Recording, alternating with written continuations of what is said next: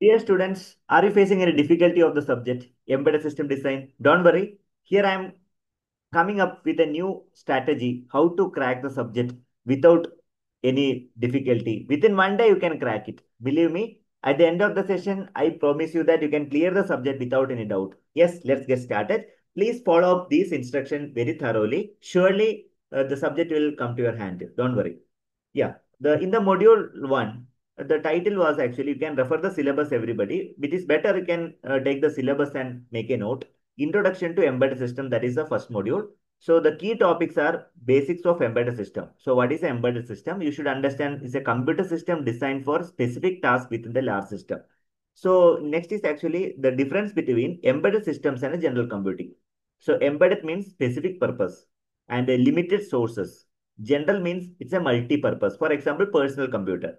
Classification also you have to study. Standalone, real-time embedded system, the network and mobile. These are the different classification. Do remember the application, automotive, home appliances, medical, aerospace, etc. Next important topic is actually RISC and CISC processor. RISC is like uh, concerning RISC, it's a fewer instruction, but very faster. Example is ARM processor. If I talk about like uh, CISC processor, there are many instructions. For example, Intel uh, 86 series. Okay, 80, 80, 86, so 80, 85. Okay, those series are basically a CISC processor. There, that is also a very important topic. Kindly make a note. Harvard versus uh, von Neumann.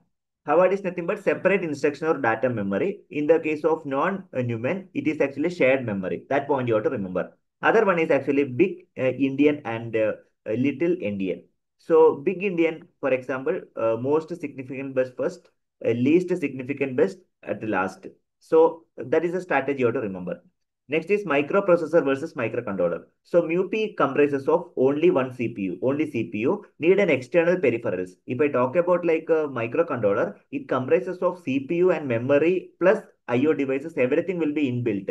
For example, PIC microcontroller, 8051 microcontroller, etc. If I talk about like a microprocessor, 8085 microprocessor, right? So these points you have to remember. Surely uh, you may get a few questions based on the fundamentals. This is purely like a fundamental uh, like a module. So definitely you can crack uh, 20 out of 20. There is no, no issues. Similarly, you have to remember sensor and actuator. Sensor means temperature, light, IR sensors.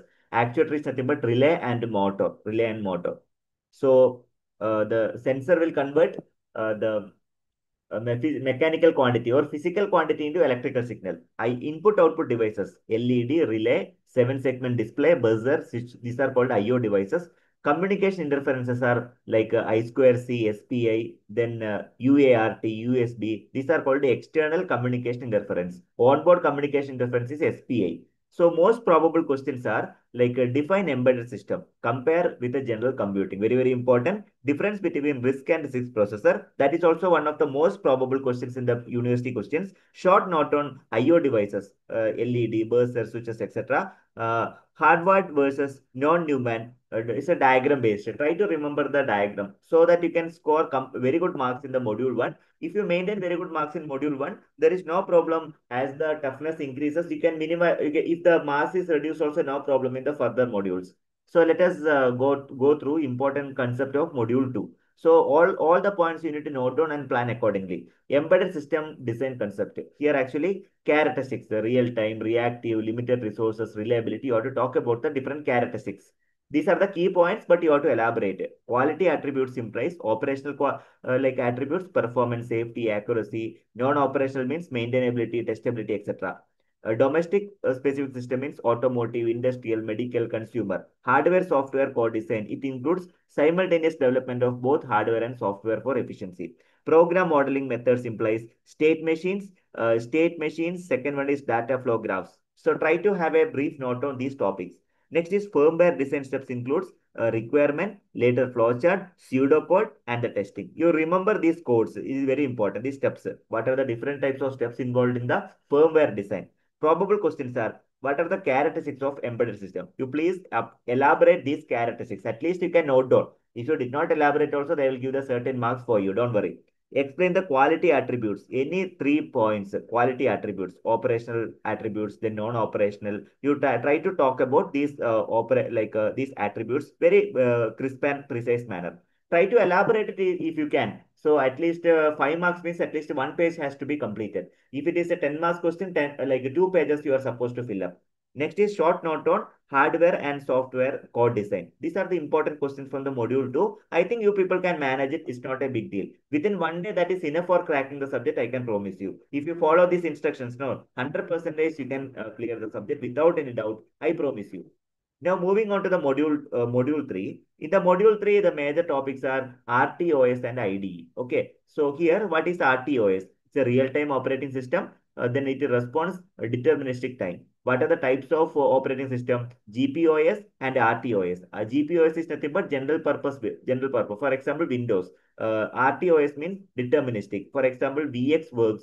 Uh, then FreeRTOS, etc. comes under RTOS task or thread or process. Task is nothing but small uh, like uh, scheduled unit. Uh, P po POSIX thread means example of the light lightweight thread. Uh, thread uh, uh, pre preemption is nothing but forcibly switching the context. That is called thread preemption. Next is scheduling the technique. These are the two important scheduling technique. Round robin. Second one is priority based. Uh, make a note on these round robin and priority based techniques. Scheduling techniques. Important. It may ask in the examination. Next, task synchronization issue like race condition and uh, deadlock. Race condition is nothing but two thread access shared data. Uh, deadlock is nothing but two tasks wait for our uh, resources. You can give the example as well. Probable questions defined by RTOS. Give the two examples. Same question. RTOS, give the two example. Explain the race condition and deadlock. Here it is already mentioned. What is deadlock? I have written over there. See, deadlock. Two tasks wait forever for uh, like uh, resources race condition is nothing but two thread access shared data. At least you can note down same point. Definitely people will give you the marks. Evaluator will give you the certain marks. Don't worry about that. Short note on task scheduling. What is the task scheduling? You can prepare the short notes. For example, see, uh, scheduling. You can talk about the scheduling in a brief manner. It is already available there. You do elaborate it. If you if you are writing only these points, surely don't worry. Evaluator is going to give you the marks. But it is better you can have the elaboration. Uh, kindly go through the elaborated notes. Possible, I will share you the elaborated note in the uh, like a video description. You can download it. Uh, then, just a moment. Yeah. So I, I, I discussed about like a module three. Then uh, module four, ARM embedded systems. The major topics are okay. Major topics are RISC philosophy. So what do you mean by RISC philosophy? You can make a note on the RISC philosophy. Here you need to talk about like a few simple instruction or like opposite of CISC. ARM features you are supposed to study. Low power consumption, RISC-based, widely used in the mobile and embedded systems. Then AMBA bus protocol, standard ARM data transfer, memory and peripheral, flash memory, SRAM, GPIO, UART, ADC. Kindly elaborate it, please. Next is software layers, boot code, then uh, operating system and appliances. ARM fundamentals you have to study. Registers. These are the different type of registers. Uh, R0 to R15. At least uh, study the functions of R0, R, R1. Then uh, CPSR. Current program status register. Pipeline. What is a pipeline? What are the major segments of pipeline? Then interrupts. FIQ and uh, IRQ. These are this is also important. Exception. Software and hardware uh, e like uh, events. That is also important. Okay. So next I would like to talk about like important questions. Uh, explain the ARM design philosophy. What is AMBA bus and its classification or its type? Write a notes on CPSR or pipeline strategy uh, stages. Surely one or two questions will be asked in the examination. I can guarantee. Okay, because these are the most popular questions. Nobody like uh, no like uh, question paper setter uh, like uh, will avoid these kind of questions because it's a commonly asked questions in the several years also you can check out. So while checking the previous year question paper, these are the most probable question paper like uh, which I observed. Next is actually uh, ARM instruction set. Uh, the data processing instruction like uh, add, subtraction, move, CMP, compare, those uh, like instructions you need to remember. Next is what is LDR and STR. Software interrupts, difference between hardware and software interrupts. To switch the supervisor mode, PSR instruction, access or modify the flags loading uh, con uh, like constraints using uh, move or LDR, ARM extension, DSP instructions, conditional execution. These things you are supposed to go through that. Probable questions, what is syntax and example of any three instruction? What is add, move, LDR? Example, give some examples also. Conditional execution with the example. What is conditional execution? Give the examples. These are the examples you can note down. Software interrupts usage. What are the different type of software usage uh, like interrupt? Importance of software interrupt, difference between hardware and software interrupt. Those points you need to uh, remember. Uh, follow these content. Surely, uh, no need to worry, you can clear the subject. So ultimately, you can prepare these shortcuts like embedded system, specific task, uh, computer with a real-time constraint. RISC and CISC. RISC is very simple, where CISC processor is complex. RTOS means deterministic response operating system. Race condition, two thread access same variable. AMBA, bus architecture in the ARM processor. CPSR, status register for like uh, flags. Pipeline, it is nothing but it follows the following segment, fetching, decoding, and execution add R1, R2, R3, ultimately result will be like R2 and R3 will be added and that will be stored into R1. That is exactly happening in this particular operation.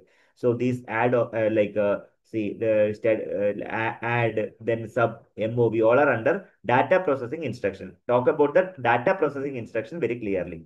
So you can plan this particular module in this way. Two hours, module one and two you can clear. 1.4 hours, uh, uh, you can clear module three. Another two hours you can dedicate for module four. Two hours you can dedicate for module five. Last one hour, uh, like uh, revise definition, word, question, answer, short notes you can uh, refer. Surely, I promise you that within 24 hours, you can clear the subject without any doubt. After uh, like uh, ex getting experience, you please let me know whether uh, you achieved this target or not.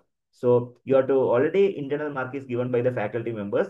Uh, so you have to mainly focus on the like semester university examination. At least 40 you are supposed to score. Okay. Uh, you can definitely, if you follow this, you can uh, follow the strategy and clear the subject. I wish you all the very best for your examination. Request you to subscribe the channel for getting the similar kind of video. Uh, definitely, I'm going to start a complete video on the embedded system. Don't worry. So give the like, uh, like button also give the comments for the betterment. I wanted to improve further. So give your valuable comments. Also, don't forget to share with the uh, like your peer members so that let them also get benefited of this video. Happy learning. I wish you all the very best for your examination. Have a great success. All the very best.